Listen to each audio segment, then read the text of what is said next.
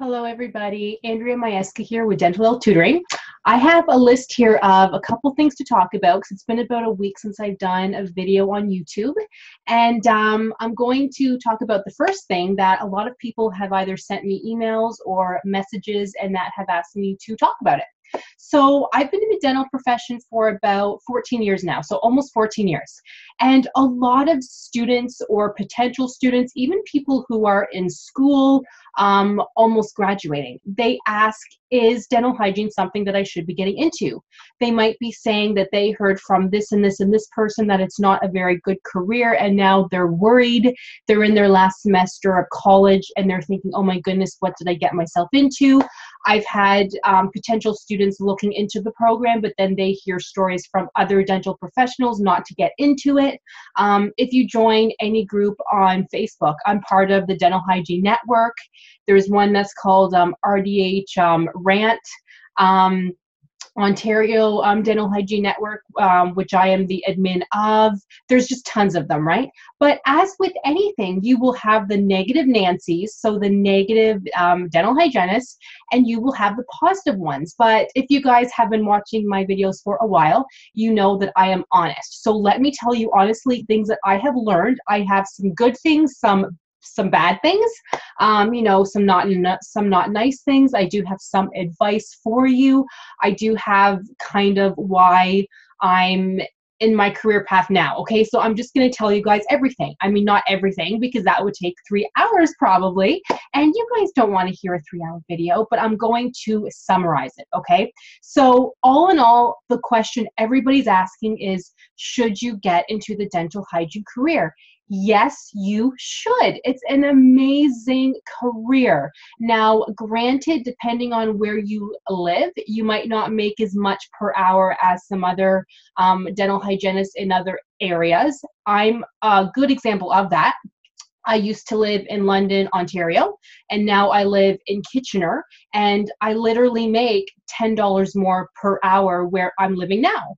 That's a big step. That can make a difference for anybody, right? Even making $5 per hour more than what you're used to is huge, right? So, yes, it does depend on where you live uh, of how much you get paid. I have been a restorative hygienist, I believe, for about three years now, maybe four actually. And where I live, that's not a very common thing.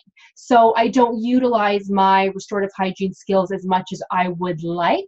But to be a dental hygienist in Kitchener is huge. In fact, we need more. We need more dental hygienists. I'm part of a dental hygiene group on Facebook, um, Kitchener Temps. Um, so temp dental hygienists and temp dental assistants, where offices every day, several offices are looking for a temp hygienist because their hygienist called in sick. They're looking to add another column to their schedule, whatever. And there's just not enough of us out there. I could work full time easily if I wanted to, but I don't want to. I could easily work every single day because there are so many offices out there looking for a good um, dental hygienist. And I say good because we find, um, and I say we, as you know, all of us, that it's just harder to find a hygienist out there these days that have a good work ethic. And that's me being honest okay? So again it depends on who you talk to. If you ask anybody so should i become a hygienist? Is this a, a good career choice? If you talk to the hygienist who's always late who hates her job, who hates her patients, she will tell you it's a horrible career right? And no office wants to hire her. So, yes, yeah, she might be having a bad experience because she might work in one office. They let her go after they realize she's showing up late, she's calling in sick, she's not good with patients, she doesn't like cleaning teeth. Who knows, right? So, if you talk to that um, hygienist, of course, she'll tell you it's a horrible career and no office wants you because no office wants her or him. Um, if you talk to the hygienist like me who loves what I do, I work part time. Um, I used to be actually a, a temp hygienist as of three months ago, and I loved it. I loved being able to just go to different offices. There's no politics involved. They're so happy to see me because I'm usually helping out somebody, right? Because somebody called in sick, they're taking holidays, so they're always happy to see me. You tend to get paid a little bit more as a temp because you are showing up on short notice. As a temp, you don't get, you know, holiday pay, sick days, benefits, anything. So it makes sense to be paid a little bit more. And you know what? I loved it. But I found this amazing office that needed a, you know, a permanent hygienist two days a week. That's it. And they did ask me to work for them. So I said, okay, that actually sounds perfect because for me, all I wanted was two days a week at the most. Um, but having that said, I, um, I work for another amazing office every other Friday because I love it there. Um, so yeah, so I love what I do. I love it. I tutor full time. Um, so that's kind of my main focus is that I do tutor full time. But um, let me just rewind. So I did um, tutor like full time, full time. I'd say a year ago, but I found that I missed doing dental hygiene. So that's why I now work twice a week and every other Friday. I love it. That's what suits me. So the nice thing about the dental hygiene profession is that you can work as little or as much as you want. I could easily work, you know, full-time 10-hour days if I wanted to because they need dental hygienist. But I'm also fine working two days a week every other Friday, and nobody's mad at me for working less, for not working enough. You know, there's no such thing as, you know, you working full time in an office and then them and then me saying, okay, well, I want to work only two days a week they wouldn't go for that, right? So I like being able to be flexible. So that's why I became a temp actually, so that I could be flexible and tutor full time.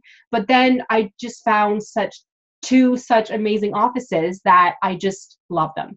So, yes, dental hygiene is an amazing career. It does depend on where you live, though. Heck, we all need to make money. There are cities out there that pay you a lot less for doing the same thing. There are cities, countries, states, whatever, that pay you a lot more for doing the same thing. So it does depend on where you live. But don't let anybody tell you that this is a bad profession.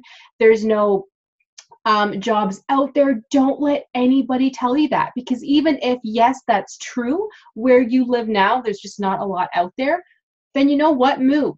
Move. Honestly, if you don't want to move, then you don't really want to be a dental hygienist, do you? Really. Um, but again, you guys, I am speaking from where I live around here i'd say up to three hours away four hours away because i can't really speak to past that because i don't know um, we need dental hygienists we need us out there who want to work full-time part-time it doesn't matter you can pick and choose um, so yes it's a great profession. I have been doing this now for almost 14 years and I love it. So that's the main thing that I wanted to talk about is, you know, when students ask me, well, is dental hygiene a good career to get into? So actually, I was going to talk about other things too, but I think I'm going to stop the video now. I'm going to make another one like right now, just talking about things that I have learned over the past 14 years.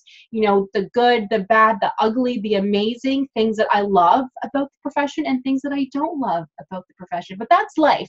There are things you love about your life. There are things you don't love we don't love having to work all day every day but we love having enough money to be to be able to take holidays to be able to afford the things we want right? So there's always give and take always.